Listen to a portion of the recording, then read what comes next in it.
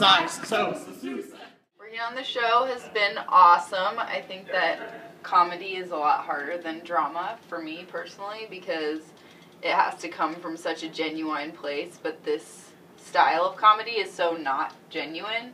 You have to be somehow believable as a character that you'd be doing all these completely eccentric, ridiculous things and be relatable, but also be like super over the top and weird and quirky. And uh, the physical comedy was awesome because it's like choreographing some intricate dance to have all these people lifting me up and tossing me around and it's been a blast. I love it.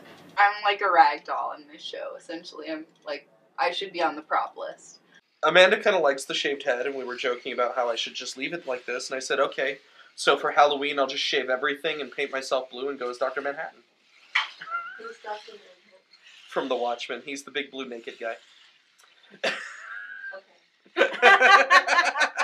Are you do gonna that. go Oh. watch See it?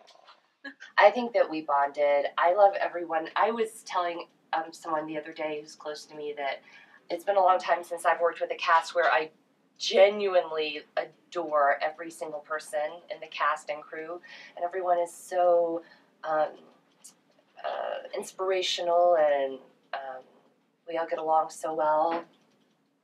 Um, at least that's the way I feel. I feel we. I feel like we're close, and that we um, support each other a lot.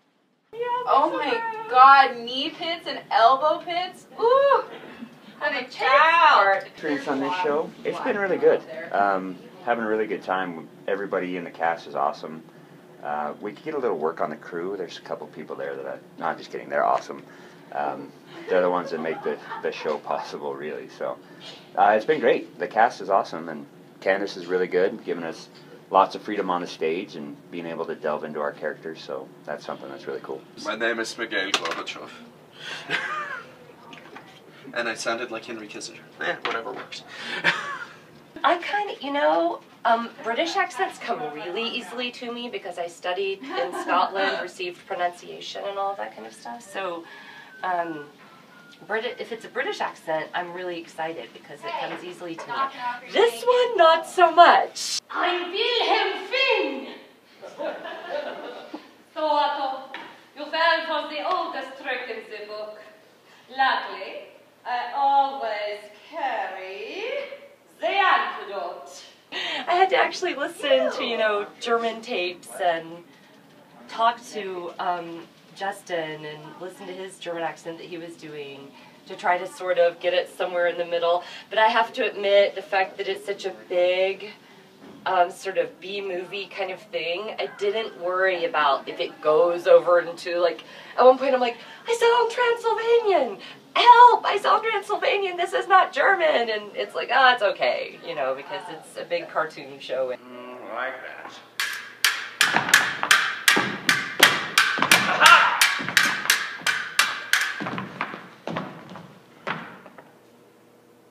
It kind of seemed like everyone was having a lot of personal crisis, and you know, our director's mom was in the hospital having brain surgery, and um, Matt's mom had surgery, and I mean, just so many like illnesses, and then of course, like everyone and their mom and their son and their grandma get, got the flu, and everyone was sick.